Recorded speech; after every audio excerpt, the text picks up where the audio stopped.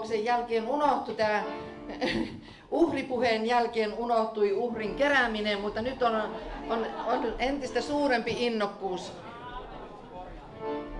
Jeesuksen nimessä että pannaan oikein alttiisti siinä. Onko kortti ulos? Hai pankkisiirtoja sinne, ota tuolta sitten. Tai tuolta, tuolta saa. Ja, ja sitten, onko tuolla Tarjan? Joo, siellä on kä- kortti ulos. Kuka? Joo, eli tuolla kirjapöydän luona on Henri. Se on nyt tuossa, mutta se on kohta kirjapöydän luona, että voi korttiuhrauksena myöskin maksaa. Otetaan uudelleen. Taistelen kun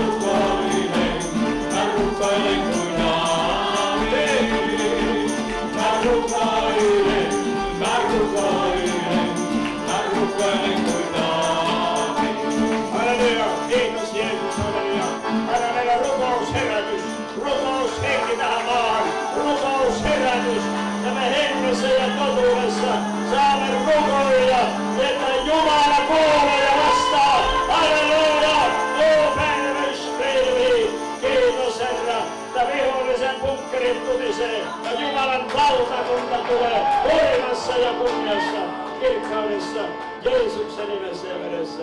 Ylistys Herran nimelle. Halleluja. Halleluja. Tiedättekö, tänä vuonna me on saatu kutsu Herralta kulkea ympäri Suomea. Joka kuukausi eri maakunnassa. Jeesuksen nimessä.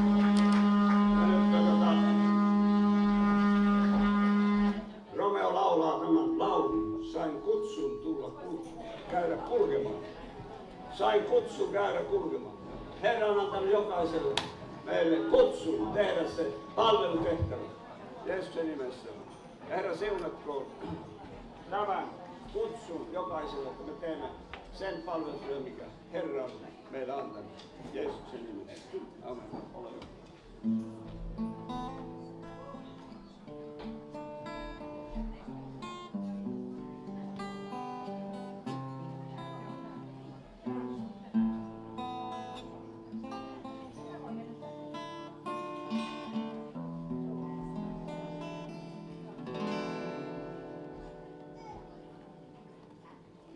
Minä kiitän sua Jumalani. Armossasi minut kurjan pelasti ja soit mulle rauhasi. Levon ihmeelliseen. Minä kiitän sua sydämestäin. Käydä saan nyt kotirantamaan päin. En enää yksin harhaile, vaan sä kanssain vierelläin käy. Sai kutsun käydä kulkemaan kohden kirkkauden maailmaa. Mua enkel siivin sinne, isän rakkaus kylmän karun maa, näin isän kädet kannattaa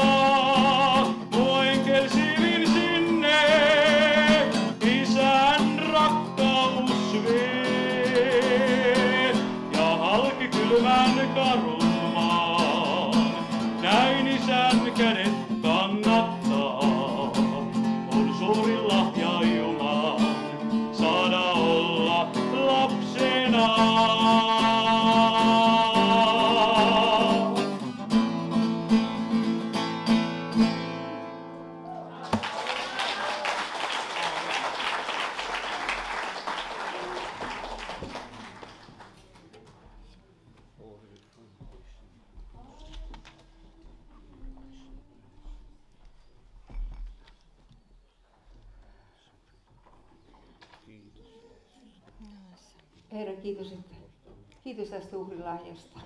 Kiitos näistä varoista, jotka ystävät on antanut tähän koppaan. Herra, kiitos siitä, että saadaan oikein pyytää sun väkevä siunaus näille varoille ja rahoille. Herra, että menee ihan oikeisiin paikkoihin ja me tiedetään kyllä ihan, ihan jo, mihin ne voi mennä. Niihin laskuihin, mitkä on oottamassa tai mitkä on tulossa. Herra, kiitos siitä, että tämä kaikki kertoo siitä, että sä pidät huolta Petania kodista. Sä pidät huolta meidän rakentamisesta ja kaikesta, kaikesta, mitä meillä siellä on. Ja niin kuin sä oot kaikki nämä 35 vuotta pitänyt, niin totisesti pidät edelleen. Herra, kiitos sinulle, että jokaista antajaa myöskin, herra, että keneltäkään ei mitään puutu. Eikä, eikä niin kuin, kukaan ei jää velkaa, herra. Sä, sä et jää kenellekään velkaa, mutta kuka, kenenkään ei tarvitse kokea, että jotenkin jäi, jäi jotakin vaille, kun antoi tähän koppaan, vaan herra, kiitos, että sä oikein niin kuin moninkertaisesti voit korvata kaikki ne asiat, mikä, mitä ystävät on antanut Betania kodille tällä hetkellä ja näiden päivien aikana. Herra, siunaa väkevästi jokaista. Amen.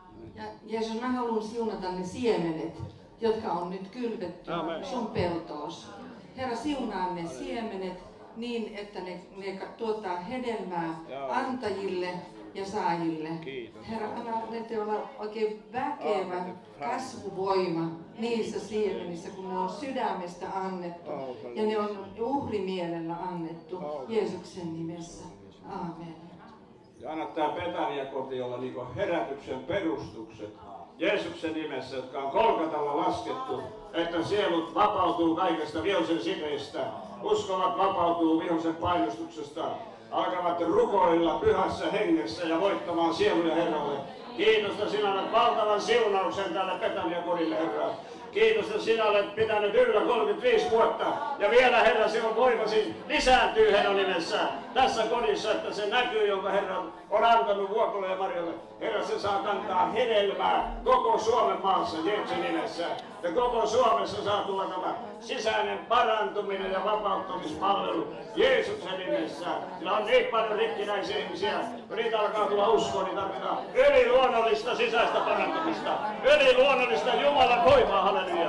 Kiitos Herra, ja sinä olet voimallinen Herra, laajentamaan tämän näyn, mikä Herra on sinulta lähtenyt. Jeesuksen nimessä ja vedessä. Ylistetty Herran nimi. Aamen. Halleluja. Kiitos. No niin, ja sitten, sitten kumpiko teistä se ensimmäisen Tarja? No niin, ole hyvä.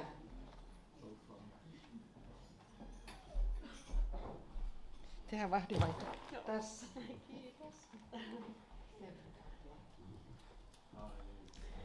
No niin, täällä alkaa niinku tunnelma tiivistymään.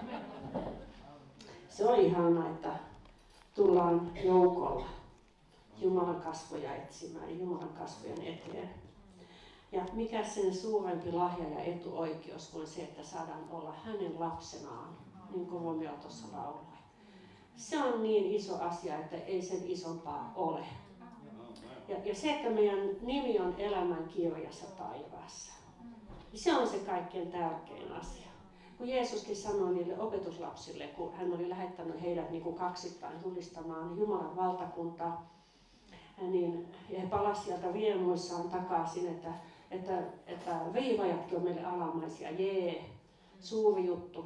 Mutta Jeesus niin kuin, asetti heti niin kuin arvot tavallaan kohdalle, että mutta iloitkaa kuitenkin ykkösasiana siitä, että teidän nimet on elämän kirjassa. Että vaikkei meillä elämästä mitään muuta jäisi kuin tavallaan käteen, kun nimi on siellä elämän kirjassa, niin meillä on kaikki. Se sana, minkä mä sain nyt tähän, tähän päivään, se löytyy psalmeista. Psalmi 68 ja 6. Herra sanoo, että hän on orpojen isä ja leskien puolustaja, Jumala pyhässä asennossaan. Jotenkin tämä Jumala haluaa sanoa, että hän on orpojen isä. Hän on leskien puolustaja. Silloin varsinkin se oli tietenkin iso onnettomuus, jos ihminen jäi orvoksi, isättömäksi ja leskeksi, koska silloin perheen huoltaja oli pois ja tuli talousvaikeudet, tuli kaikki. Mutta miten ollakaan tänäkin päivänä on paljon tämmöisiä niin kuin, niin kuin, tavallaan leskiä ja orpoja. On niin paljon yksinhuoltajia. On niitä, jotka on jääneet niin yksin tavalla tai toisella. Yksin huoltamaan perhettään, lapsiaan, elämään omaa elämäänsä eteenpäin. Ja on niitä isättömiä lapsia, äidittömiä lapsia. Ja vaikka ei olisikaan niin ihan, ihan konkreettisesti isätön tai äiditön tai yksinhuoltaja tai, tai leski, niin voi olla sisäisesti sitä. Koska äh, on niin paljon niitä isiä ja äitejä, jotka ei pysty olemaan isä eikä äiti lapselle sillä tavalla kuin pitäisi. Jos ei ole saanut niin kuin eväitä omaan elämään siellä lapsuudessa tai on tullut jotakin semmoisia elämänvaikeuksia tai riippuvuuksia, alkoholismia ja muuta semmoista elämää, niin ei olekaan mitä antaa sille lapselle. Ja se lapsi jää vaille ja tulee se hylkäämisen kokemus ja tulee niitä haavoja ja, ja, ja sitä orpoutta. Tulee sitä isättömyyttä ja semmoista eksyneisyyttä. Että ollaan elämässä vähän niin kuin eksyksissä, että missä on se oma elämän paikka. Ja, ja, ja eletään aika paljon semmoista yksilökeskeistä. Jokainen elää siellä omassa poterossaan, siellä omassa yksityisyydessään ja yksin. On sitä yksinäisyyttä niin paljon. Kuka, kuka auttaa ja kuka välittää? On se hylkäämisen kipu, monenlainen kipu siellä sydämessä ja sisimmässä. Yksin jäämisen tuska. Myös niin kuin avioerotilanteissa ja ja voi olla, että ei ole sitä puolisoa koskaan vielä saanutkaan. On sellaista, sellaista yksin jäämistä.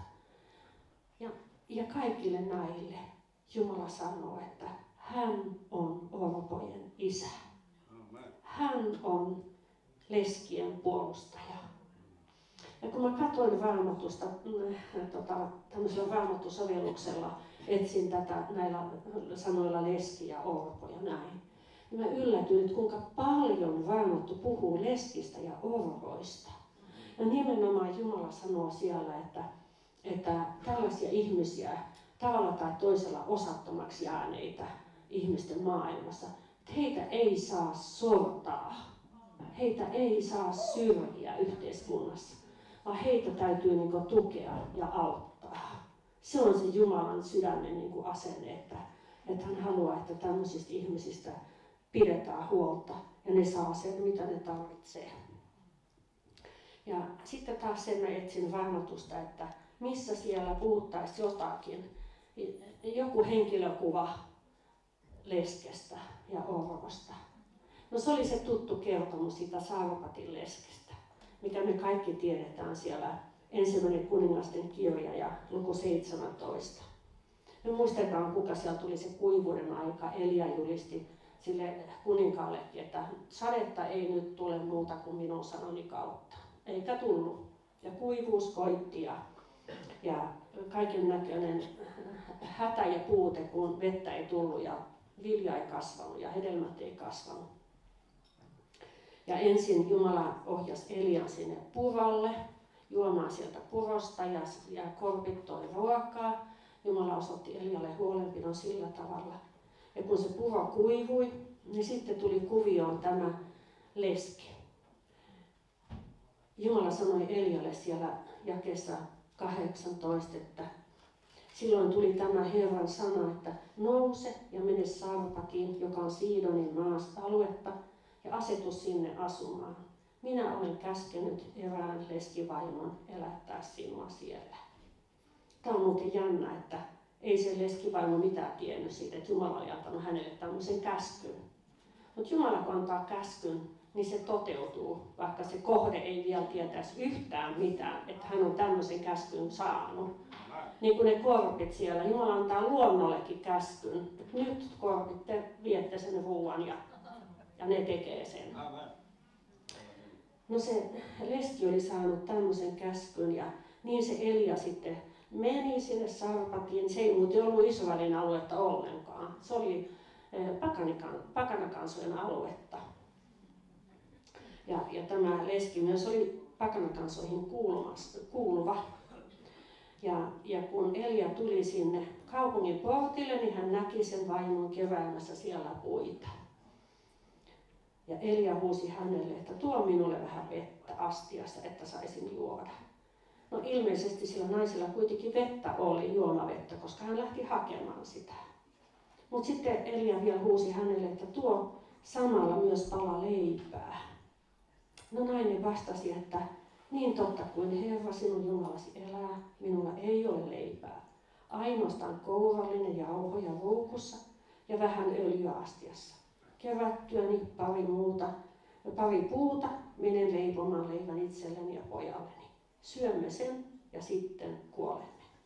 Ajatelkaa mikä tilanne. Mikä toivottomuus oli ollut sillä äidillä jo pitkään. Ja, ja semmoinen, että, että kuinka tästä selvitään, kuinka mä selviän tämän lapsen kanssa. Ja, ja tietenkin sääli sitä lasta kohtaan, että, että mä en voi auttaa tätä mun lasta.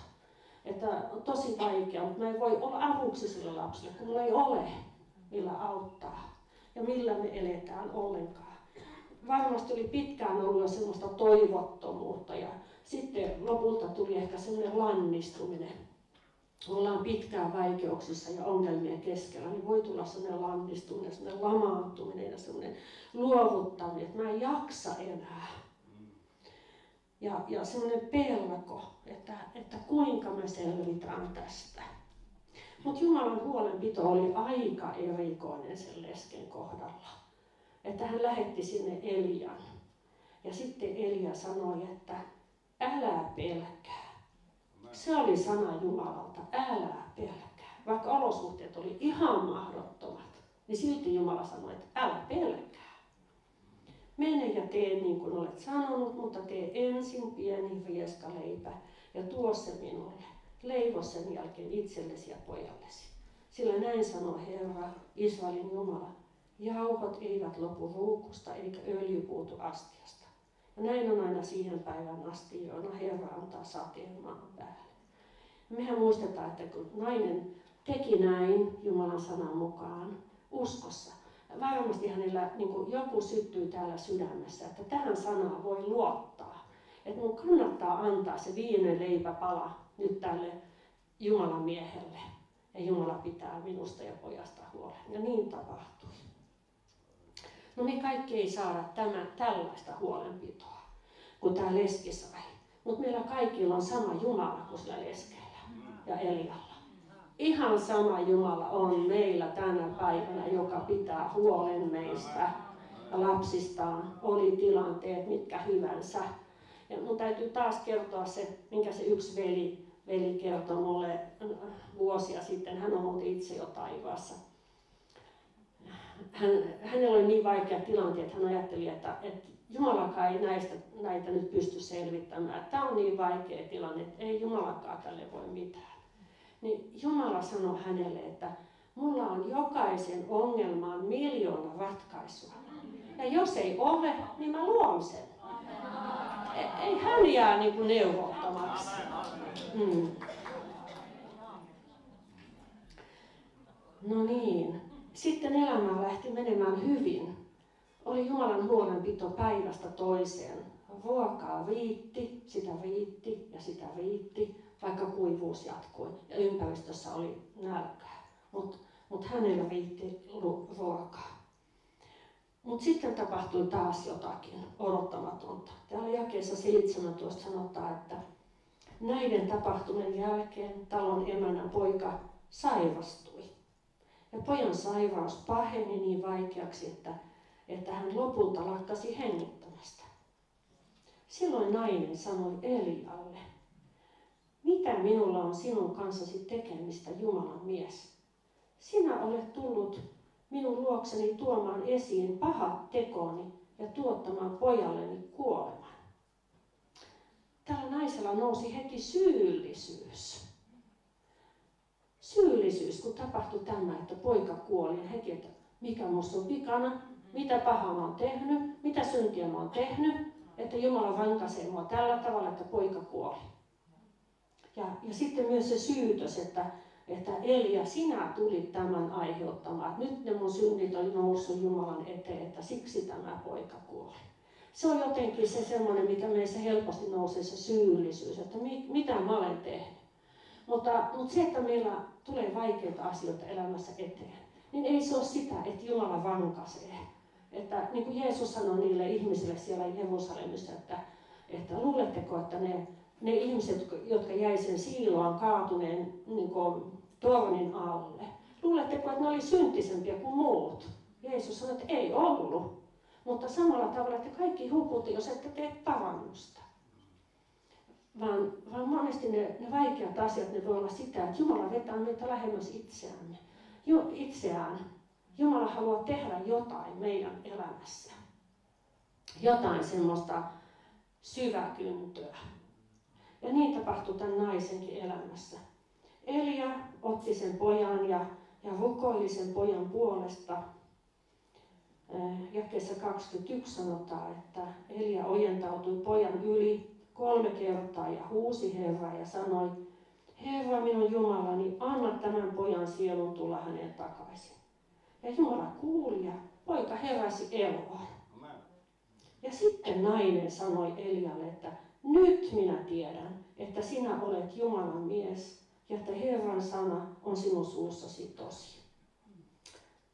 Et vaikka se nainen oli saanut jo pitkän pitkän aikaa joka päivä nähdä sitä Jumalan ihmettä, että se ruoka aina vaan lisääntyi, aina joka päivä tuli ruoan ihme, niin silti hänen sydämessään ei ollut vielä usko päässyt niin kunnolla niin nousemaan. Mutta nyt kun hän näki, näki tämän, että se poika heräsi henkiin, nyt hänessä syntyi se, se luja luottamus Jumalaan ja se, että, että Jumala voi ja Jumalan sana on tosi. Se meni vaan näin vaikean kautta. Joskus me joudutaan menemään niin vaikean kautta, että Jumala pääsee meissä tekemään sen työnsä ja, ja, ja vetämään meidät niin semmoiseen läheiseen yhteyteen ja semmoiseen, semmoiseen syvään luottamuksen siihen, että Jumala pitää huolen, että Jumala pitää sanansa. Ja hän on meidän parantajamme, auttajamme kaikissa tilanteissa. Ja, ja se, mitä me monesti tarvitaan myös, että antaa niin kuin anteeksi niille, jotka on meitä loukannut. Mutta sen lisäksi antaa anteeksi myös itsellemme. Se on välillä vaikeaa. Antaa anteeksi itsellemme ne, ne omat niin kuin ne väärät valinnat ja ne, ne törttöilyt, mitä on ehkä elämässä tehty. Ja sitten nähdään, että no niin, näistä omista vääristä valinnoista johtuu tämä ja tämä ja tämä vaikeus. Mutta se, että voidaan antaa myös itsellemme anteeksi, koska Jumalakin antaa anteeksi. Mikä oikeus meillä on pidättää itseltämme sitä anteeksi antamusta, koska Jumalakin antaa anteeksi. Tuolla Venäjällä kerran oli nuori nainen, joka, joka sanoi, että ei hän voi antaa itselleen anteeksi. Hän on niin paljon töppäilyjä kärsinyt niistä omista töppäilyistä ja lapsetkin kärsinyt. Ei hän voi itselleen antaa anteeksi. Mutta, mutta se vaan on niin tarpeen, että me voidaan antaa itsellemme anteeksi. Ja Herra auttaa myös siinä, että me voidaan se tehdä. Koska Jumala ei halua, että me jäädään sen, sen syyllisyyden kuorman alle.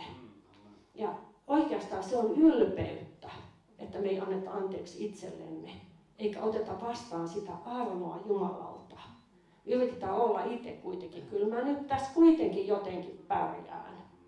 Ei, vaan meidän tulee ottaa se armo vastaan. Niin kuin Jeesus sanoi mulle, että, että älä pidä halpana minun sovitustyötäni.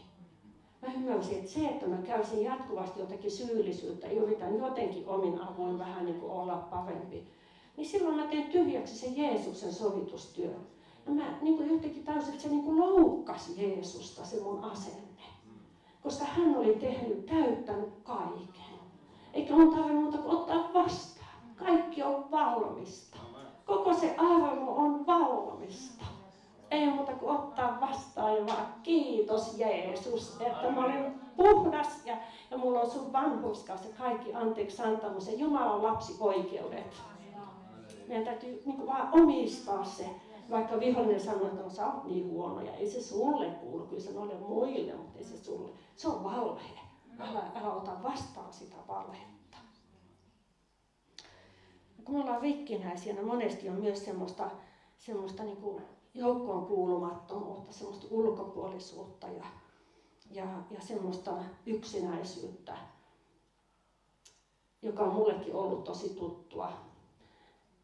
Ja sitten mä luin tässä vähän aika sitten Uusi Elämä-lehdestä, niin, niin tota, yksi, yhden miehen kertomuksen, kun Jumala oli vienyt hänet taivaaseen ja, ja sitten hän sai tulla kertomaan, mitä hän siellä koki. Ja yksi, yksi asia siitä mulle jäi erityisesti mieleen, kun hän sanoi, että siellä kuulutaan joukkoon. Siellä ei kukaan ole yksin. Että silloin kun mäkin olin oikein rikki ja se yksinäisyys oli tosi syvää, niin mä ajattelin, että olenkohan mä taivaassakin yksin. Tuntui niin kuin ihmiset että se yksinäisyys loppuisi joskus. Mutta ei se ole niin, että me oltaisiin taivaassa yksin. Siellä me ollaan kaikki niin kuin siinä yhteydessä ihan täysillä mukana. Ja, ja Jumala haluaa antaa sitä taivaasta maan päälle jo täällä. Että meidän ei tarvitse täälläkään jäädä siihen yksinäisyyteen, eikä siihen ulkopuolisuuteen, eikä siihen osattomuuteen. Vaan Jeesus on tullut tuomaan elämän ja yltäkylläisyyden. Kun vihollinen varastaa ja tappaa ja tuhoaa ja vie meidän elämästä kaikki, kaiken arvokkaimman tietenkin. Ilon ja rauhan ja levon ja kaiken hyvän. Mutta Jeesus on tullut tuomaan yltäkylläisyyden. Hän ei ole tarkoittanut, että me jäädään siihen, siihen alas painettuun asemaan, koska Jeesus on tullut parantamaan. Hän on tullut sitomaan särkyneet sydämet, että me voidaan tulla ehjäksi ja elää täyttä elämää Jeesuksen kanssa. Ja, ja kun me tullaan Jeesuksen hoitamiksi, niin silloin meistä tulee niitä ihmisiä, joiksi meidät on luotu että se alkuperäinen Jumalan luomus meissä pääsee esiin. Meistä tulee myös enemmän Jeesuksen kaltaisia. Mutta silti me ei olla samassa muotissa kaikki. Vaan, vaan Jumala niin kuin sen, sen ihanan persoonan, joka Jumala on jokaisen laittanut, ihan yksilöisen persoonan. Jos, jos lumihiutaleet on kaikki ihan erilaisia, niin ollaanhan me ihmisetkin kaikki erilaisia ja yksilöllisiä luomuksia. Ja Jumala rakastaa sitä omaa luomistyötään sinussa. Vaikka susta itsestä tuntuu, että no en mä nyt ole mikään, ei musta nyt ole. Mutta Jumala katsoo sua niin kuin ihailen. Sitä omaa luomistyötään sinussa hän ihailee. Sä oot niin rakas ja ihana hänen silmissään. Ja kaikki se turvattomuus ja se mitättömyys, niin, niin Herra haluaa sen parantaa. Ja hebrealaiskirja 13 ja 5, hän sanoo, että en minä sinua hylkää, enkä sinua jätä. Vihollinen aina valehtelee, että no ei Jumalakaan välitä ja sä oot niin epäonnistunut. Ja pyh, se on valhe. Älä ota sitä. Muistuta itsellesi tätä hebrealaiskirje 13 ja 5. En minä sinua hylkää, enkä sinua jätä, sanoo Herra, ja se on totta, mitä hän sanoo. Amen.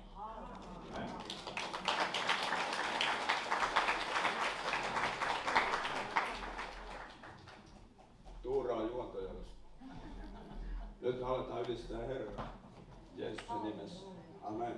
No nyt kannattaa ylistää sillä. Jumala on suuri. Hänen armonsa on rajaton. Halleluja. Noustaan ylös ja palvotaan Herran. Jeesuksen nimessä. Anna tulla kaikki mitä. avataanko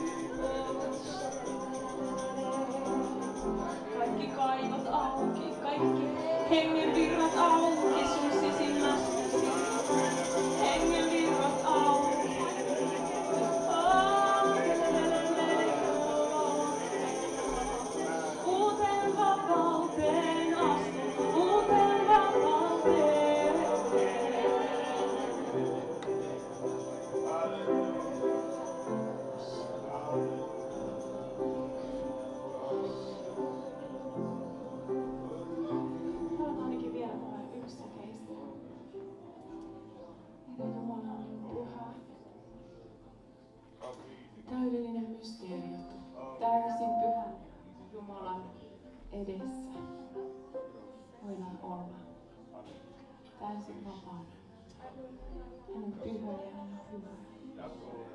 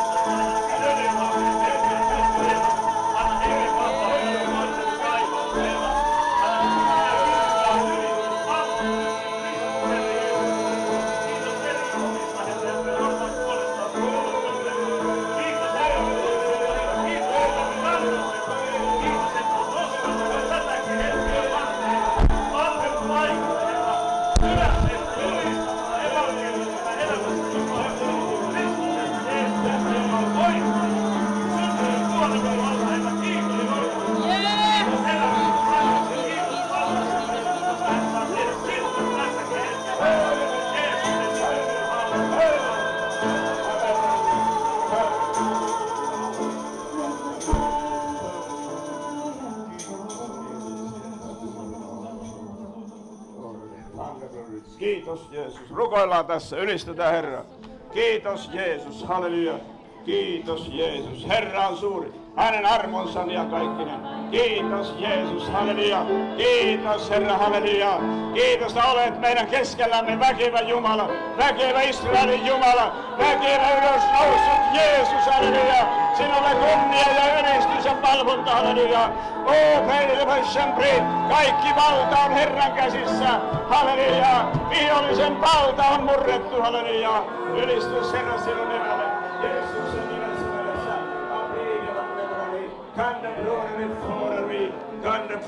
Sprorari. Kiitos Jeesus, halleluja.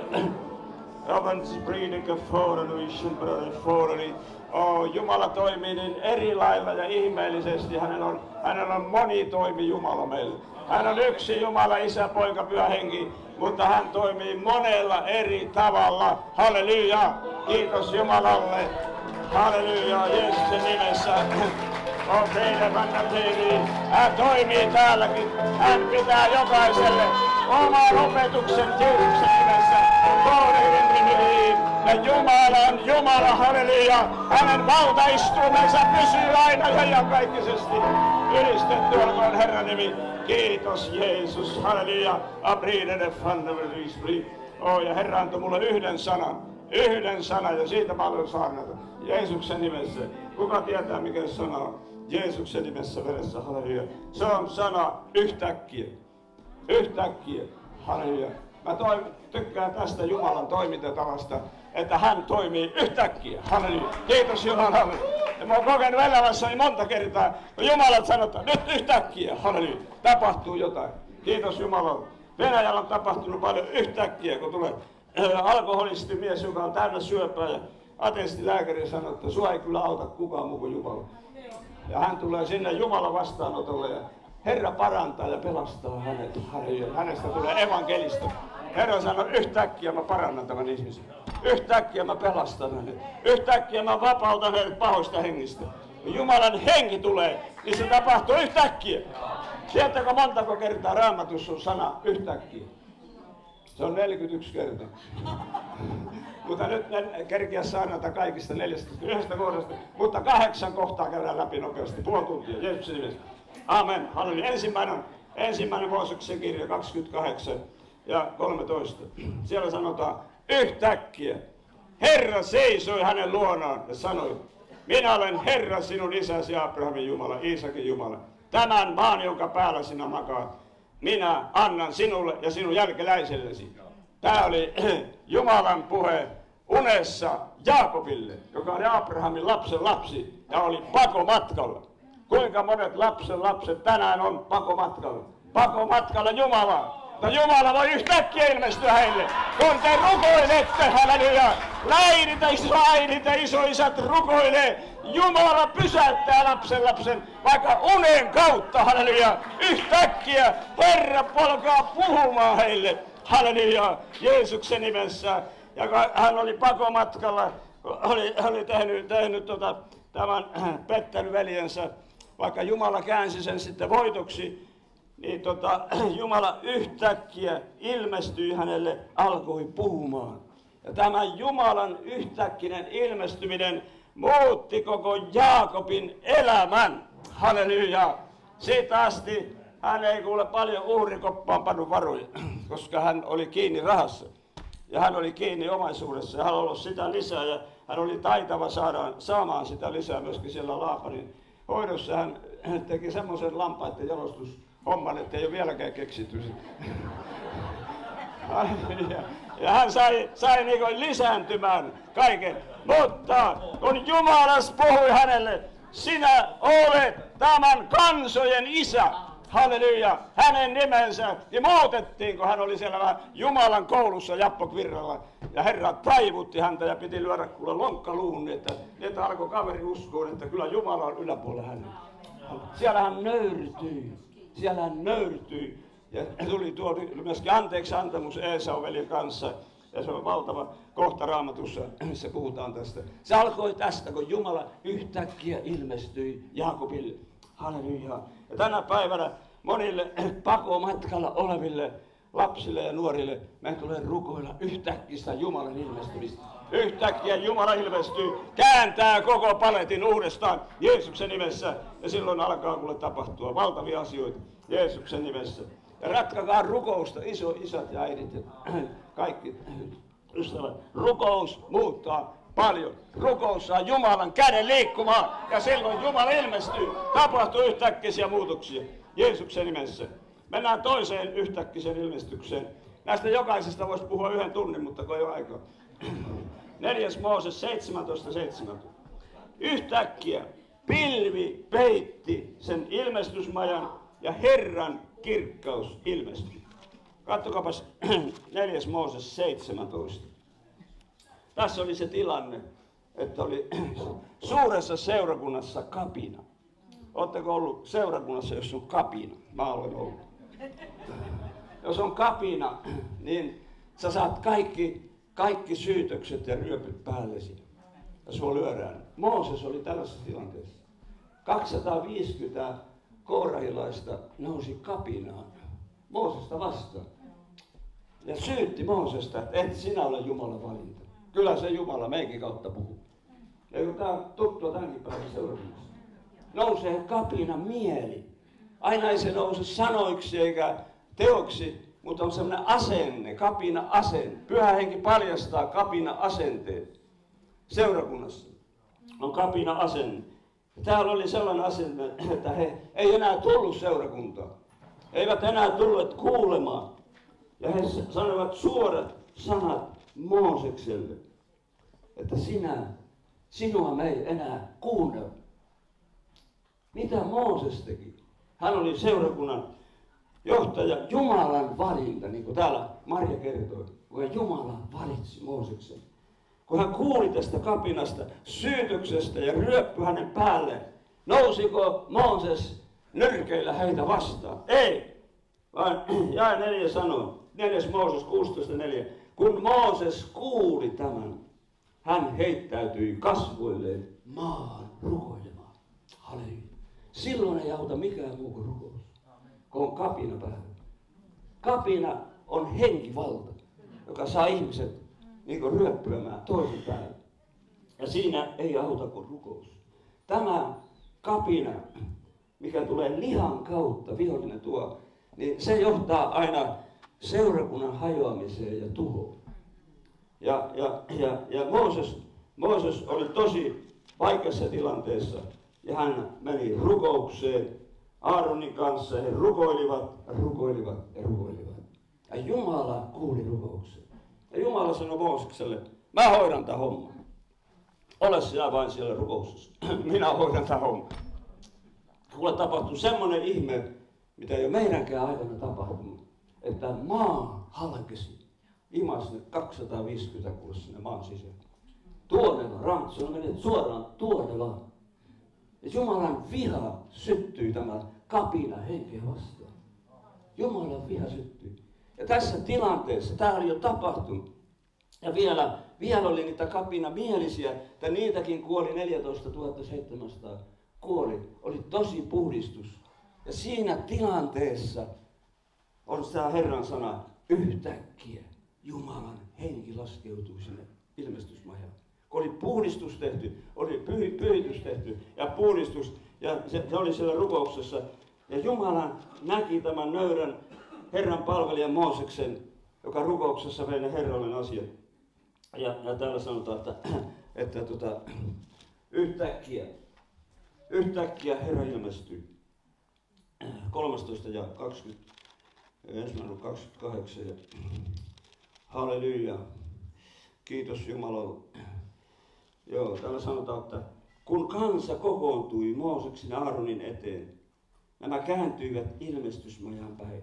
Nyt oli se porukka vielä, vielä joka kääntyi paimenen puoleen, alkoivat rukoilla, niin silloin yhtäkkiä pilvi peitti majan ja Herran kirkkaus ilmestyi.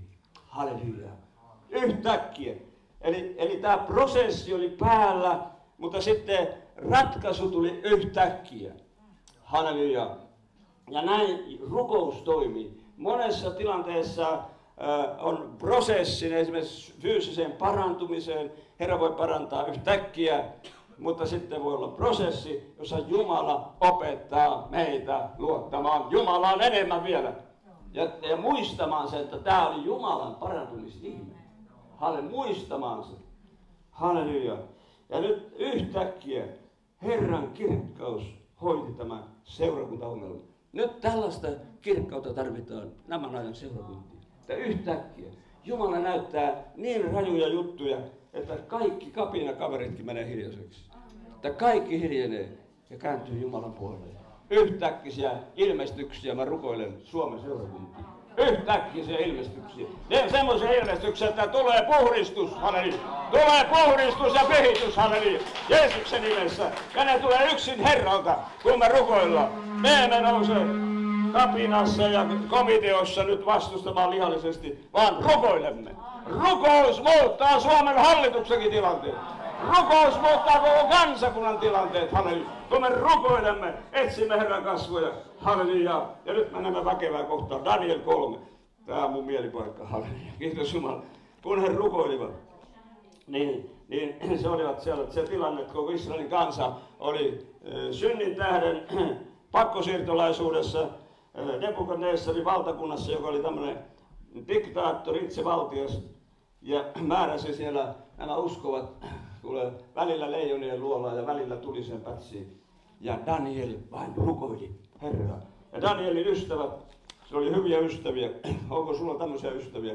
Niin kuin oli Sadrak, Meesak ja Abednego. Daniel 3.24. He oli, he oli Sadrak, Meesak, Abednego oli Jumalan miehiä. Ja, ja tota, noin, he ei pelänneet tämmöistä vihollisen tuomaa vastusta. Tässä oli niin vainotilanne. Tiedättekö, tänä päivänä 360 miljoonaa uskovaa vainojen alla. Vainotaan hirveästi ja painostetaan. Ihan, ihan, ihan hirveitä tapahtuu tuolla islamilaisessa maailmassa. Ja tässä oli vastaava tapaus. Mutta nämä kaverit, Daniel, Sadrak, Mesak ja Abednego, ne ei lopettanut rukousta. Ne jatko rukousta vaikeassa tilanteessa. Vaikeassa tilanteessa meidän pitää moninkertaistaa rukousta. Moninkertaistaa Jumalan neuvotteluja, halleluja. Ja olla uskon henkeä täynnä. Ja he sanoi sille kuninkaalle, että, että me, me emme sinua tottele, mutta elävää Jumalaa me palvomme. Tapahtu mitä tapahtuu, halleluja. Se oli uskonmiehen puhetta. Kiitos Jumalalle. Kun heitä heitettiin elävältä, siinä tuli siihen pätsiin. Oli niin kuumaksi laitettu pätsi, että kyllä heittäjätkin palo. Mutta nämä kaverit, ei hiuskarvatkaan palo. Ei vaatteet kärventynyt, ei mikään. Halleluja. Ja kun tätä, tätä näytelmää kuningas katselee, niin Daniel 3.24 on sana yhtäkkiä. Jotakin tapahtui. Tämän Jumala puhuu yhtäkkiä tälle, tälle saatanan agentille, tälle diktaattorille, Nebukadnessarille. Yhtäkkiä kuningas Nebukadnessar hämmästyi. Jumala saa hämmästymään. Ihme teolla tämä maa. Vain Jumala saa hämmästymään. Niin että hän nousi kiireesti seisomaan ja sanoi neuvonantajilleen, emmekö me heittäneet kolme miestä sidottuna tuleen. He vastasivat kuninkaalle, niin on kuningas. Hän vastasi, nyt minä kuitenkin näin neljän miestä. Neljä miestä kävelemässä vapaana tulessa, eivätkä ole vahingoittuneet. Se neljäs on nähdään kuin Jumalan poika. Halleluja! Tämä kuningas, joka ei totellut Jumalaa, oli itse valtias. Nyt hän tunnustaa, minä näen Jeesuksen. Minä näen Jumalan pojan kävelevän tulissa pätsissä. Halleluja! Kannattaa olla uskolle kuulijainen, kun se palkitaan valtavalla voitolla. Ja kun tämä tapahtui, tämä tilanne, niin siitä seurasi kuule maailmanlaajuinen vallankumous, että tämä Nebukadnessar julisti koko maailmalle, silloiselle maailmalle. On vain yksi Jumala, Danielin Jumala, elävä Jumala, joka pelastaa leijonien luolasta, tulisesta pätsistä ja kaikesta vainon keskeltä. Ja, sano, ja sitten hän kirjoittaa, tulee palvella vain tätä Jumalaa. Halleluja. Nyt tämmöisiä Jumalan ihmetekoja tarvii tämän lopun aika. Ja mä uskon, että niitä tulee tapahtumaan. Niitä tulee tapahtumaan. Tässä aamun rukouskokouksessa Herra näytti Katrille, että nyt se nukkuva jättiläinen alkaa jo vähän liikehtimään. alkaa jo pikkasen nousemaan. Ja on ollut rähmällään siellä maassa nukkuva seurakunta, mutta nyt Herra alkaa sitä herättää. Ja kun se nousee, niin vihollinen vapisee, halleluja. Ja vihollisen valta murtuu, halleluja. Jeesuksen nimessä käy samoja asioita, mitä on käynyt ennen raamatun historiassa. Niitä tapahtuu nyt lopun ajassa nopeammissa tahdissa vielä kuin aikaisemmin. Siellä meni tuhansia vuosia, nyt voi mennä vuodessa, kun on monia suuria ihmeitä alkaa tapahtua. Eri puolilla maailmaa. Me elämme ihmeellistä aikaa, Jumalan aikaa. Nyt on Jumalan aika ja Suomen aika, halleluja. Kiitos Jumalalle. Oh, Peter, wonderful. Oh, Jeesuksen nimessä. Neljäs tapaus, Luukas 2.13. Taas on sana yhtäkkiä. Tiedättekö mikä kohta se on? Halleluja. Jumala ilmestyy arkisessa tilanteessa. Kun te olette arkisessa työn touhussa siellä jossakin keittiössä tai pellolla tai missä ikinä olette tietokoneen ääressä, niin tässä oli juutalaiset pahimenet, lammaspaimenet yöllä, siellä painasi lampaita. Niin tämä on jouluevankelimista. Luukas 2.13. Yhtäkkiä, yhtäkkiä tapahtui, halleluja. Oli enkelien kanssa suuri taivaallinen sotajoukko. Oletko nähnyt sotajoukkoja? Jumalan suuria sotajoukkoja. Elia, Elisa näki, hänen palvelija ei nähnyt, kun vihollinen tuli heitä, heitä tuhoamaan. Meidän tulee hengen silmällä nähdä taivaalliset sotajoukot, jotka on meidän ympärillä. Nämä paimenet näki taivaansa sotajoukon.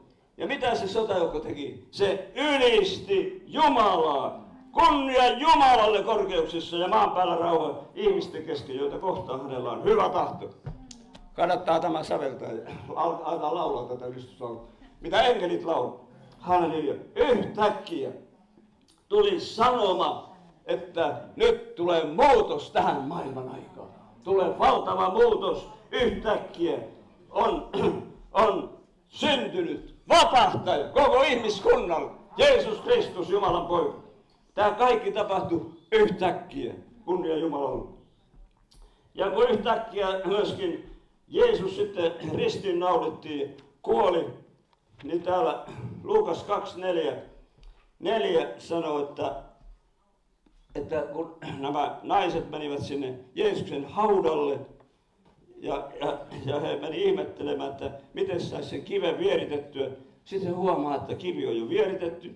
He menivät sisälle, ei löytäneet Herran Jeesuksen ruumista sieltä haudasta.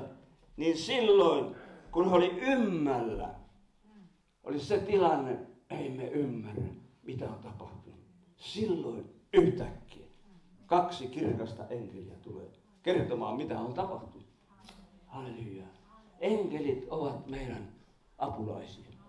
Enkelit tulevat lopun seurakunnan herätykseen meitä jeesaamaan, vaikka me edes näkisi niitä. Mä oon kokenut enkelin apu, vaikka en ole nähnyt niitä ne vain auttavat sillä, että jotenkin asiat vain juontuu helposti. Halleluja. Helposti. Se tulee vaan semmoinen helpotus ja voima.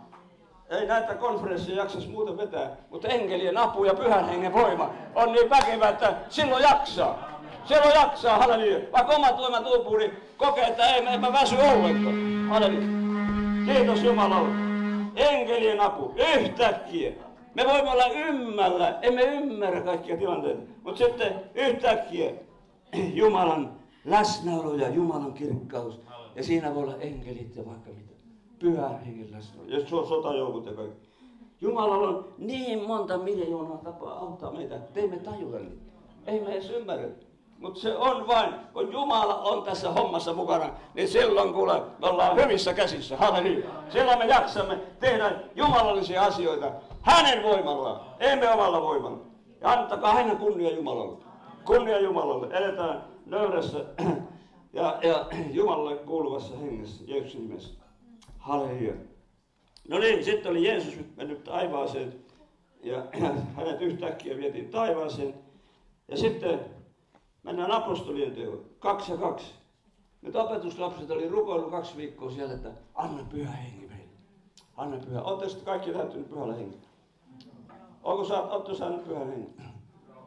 Nyt, nyt että kaikki täytyy uudelleen pyhällä hengellä.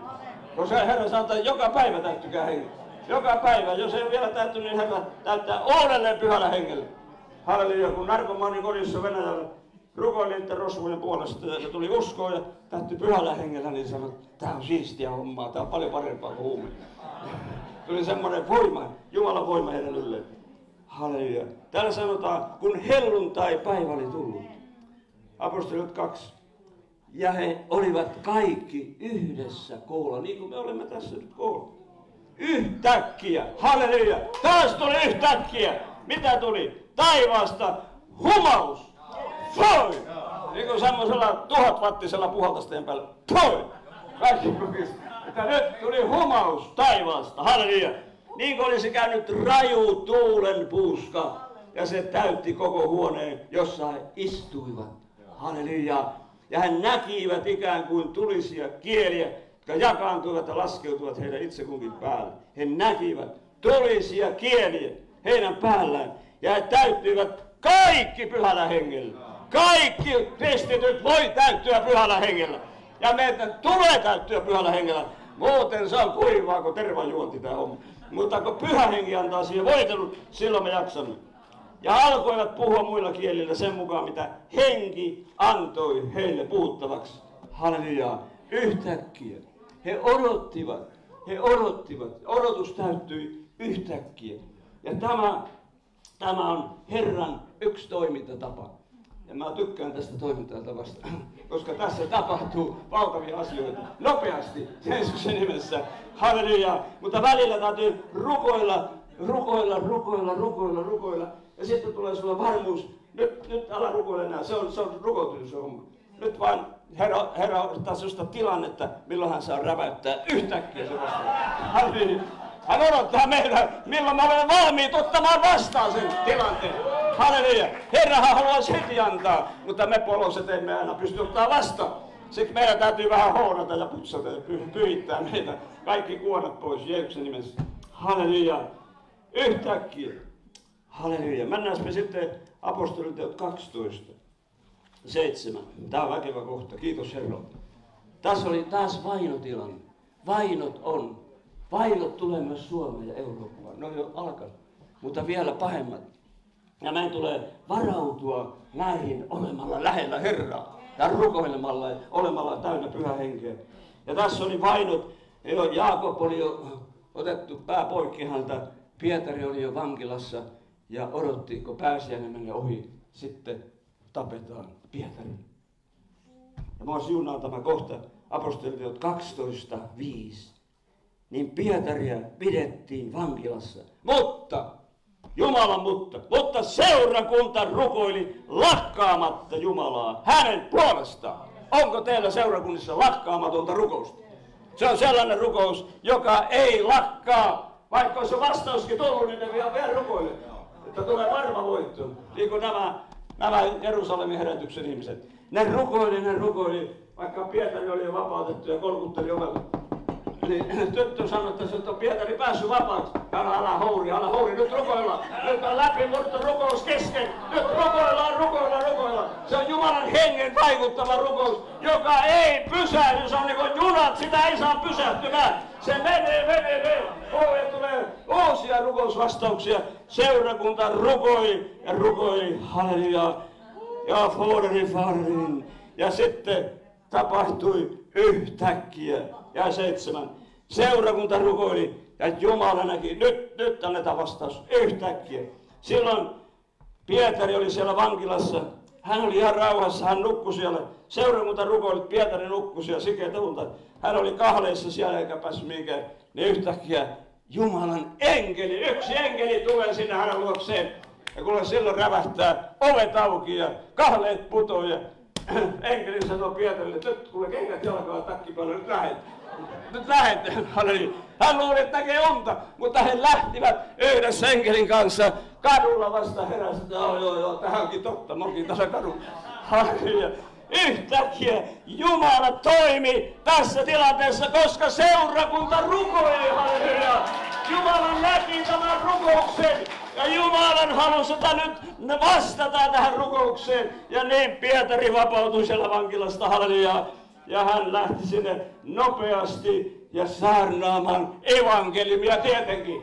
ei lopettamaan niitä hommia, vaan entistä voimallisemmin saarnaamaan Herran sanaa. Tiedättekö, että nämä ihmeet ja merkit, me tarvitaan näitä.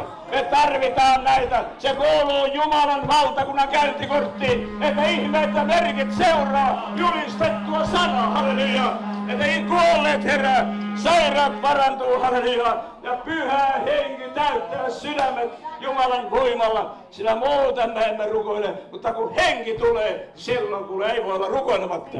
Ei voi olla. Sillä Herran henki kun tulee, silloin se on niin kuin uusi nainen ja uusi mies. Se on uusi voitelu Herralta. Ja Herra haluaa antaa nyt uutta voitelua sinun rukouselämään, sinun seurakuntaasi, sinun palvelutyöhösi, uutta, uutta voitelua Herran nimessä. Halleluja, Jeesuksen nimessä. Ja sitten vielä kahdeksas, tietysti kahdeksan uuden alku. Ja Jumala haluaa nyt jotain uutta aloittaa sinun rukouselämässä. Ja täällä yksi korintolaiskirja 15, 5.2 on sana yhtäkkiä silmän räpäyksessä, viimeisen pasunan soidessa. Pasuna soi ja kuolleet nousevat katoamattomina ja me muutumme. Halleluja! Jeesuksen tulemus tapahtuu yhtäkkiä silmän räpäyksessä. Halleluja! Ja nyt meidän pitää muuttua, että me ollaan valmiita ottamaan vastaan Jeesus, halleluja. Ja nämä konferenssit on sitä varten, että Jumala saa muuttaa meitä hänen kuvansa kaltaiseksi. Silloin me odotamme innolla ja rakkaudella ja intohimoisesti, Jeesus, sinä tulet pian, halleluja. Ja me saamme aina olla sinun kanssasi, halleluja. Tämä Jeesuksen odotus minä uskon pyhä henki nyt antaa lopuneen seurakunnalle tämmöisen innostuneen odotuksen, ja että me emme vain ole tässä kuivassa, niin kuin joku sanoi, ei lopun josta saa puhua mitään. Mä nyt pitää puhua, koska nyt on lopun aika. Koska siitä puhutaan? Ne jää puhumatta, jos emme puhu nyt. Ja nyt on aika puhua lopun ajoista, että Jeesus tulee yhtäkkiä silmän räpäyksessä, pasuna soi ja me muutumme, halleluja, ihan kaikkisesti, kun tämä matosäkki jää tänä maan päällä. Ja me saamme uuden ruumiin, kirkastetun ruumiin, joka ei pala tulessa, halleluja, joka kestää aina ihan kaikkisesti, joka on Jumalan antama hengen asumus Ihan kaikkisesti olemme Jumalan kanssa. Halleluja. Kyllä tämä on niin valtava päätös juhla tähän evankeliumin juttuun, tähän herätykseen. Me pääsemme Jeesuksen vastaanotolle ja osottoon. Kyllä silmän räpäyksessä yhtäkkiä pasuna soi ja me muutumme hänen kaltaisekseen Jeesuksen nimessä ja veressä. Nousemme ylös ja rukoilemme. Halleluja, halleluja. Oh, breathing in the. Oh, fire Aaden Forhin. Ja nyt alkaa rukouspalveluja. Nyt Herra haluaa muuttaa meitä. Anna muuttaa, Herra, sinua siellä, missä istut ja seisot. Herra haluaa tulla henkensä kautta sinun elämäsi. Antaa sinulle uuden voiman, uuden voiman väsyneille. Tiedän, monet on väsyneitä, monet on nääntyneitä. Oh, ja vihollinen on saanut valehdeltua. Jeesuksen nimessä nyt valheen viholliset kaadetaan pois Jeesuksen nimessä. Valheen viholliset väistyy Jeesuksen nimessä. Oudede fandeliisi. Me emme ota viholliselta mitään vastaan, vaan nyt otetaan Herralta vastaan. Avitsi pilvi. Ja Herran henki on täällä. Hän haluaa koskettaa sinua Jeesuksen nimessä. Hän haluaa vapauttaa sinut kaikista valheista, kaikista vihollisen siteistä sairauksista ja peloista, synneistä ja vihollisen valloista. Jeesuksen nimessä ja nostetaan kaikki kädet Herraa, Herraa kohti. Sanotaan Maranata, tule Herra Jeesus, tule Herra Jeesus, tule Herra Jeesus, tule Herra Jeesus. Pese minut verelläsi puhtaaksi, että mä oon valmis, kun sinun lähtövuosi päivä tapahtuu. Kun yhtäkkiä pasuna soi silmän räpäyksessä, Jeesuksen tulemus tapahtuu pilvissä. Kiitos Jeesus, kiitos Jeesus että sinä puhdistat meidät verelläsi, täytät pyhällä hengellä ja Jumalan tulella. Oh freedom and free. Oh parannat sisäisesti ja ulkoisesti. Herra, anna sinun tulesi syttyä meissä. Ja Jeesuksen tulemus on lähellä, tosi lähellä, halleluja. Ja nyt on aika rukoilla ja voittaa sielut Jeesukselle. Miljoonat Jeesukselle. Miljoonat suomalaiset Jeesukselle. Ja nyt on Suomen aika, herätyksen aika, Jumalan aika, puhdistaa kansa, halleluja. Yhittää kansa, halleluja. Tule Herra Jeesus, tule Herra Jeesus. Oh, Friederman, jokaisen seurakuntaan, joka on täällä edustettuna. Puhdista Herra papit ja palvelijat, puhdista Herra kansa, etsimään Herran kasvoja. Kiitos Jeesus, että sinä olet todellinen elävä Jumala. Oh, Friederman, oh, Avetsi Frieden Florani, ylistys Herra sinun nimelle, Jeesuksen nimessä ja veressä. Kiitos Jeesus. Halleluja, halleluja. Oh, Frieden Florani. Oh, Jeesuksen nimessä ja Maria, ole hyvä nyt tämä kokous tässä päättyy, mutta tulee, tulee tota sieluhoitorukoukset ja, ja, ja päivällinen ja iltapala, mutta tota, täällä on rukouspalvelu ja sieluhoito nyt on päällä koko ajan. Ja tänne, täällä, täällä on myös rukoillaan pelien kanssa, Jeesuksen nimessä. Älkää lähtekö vielä, Jeesuksen nimessä. Tulepa Maria vähän selittää, miten tämä menee.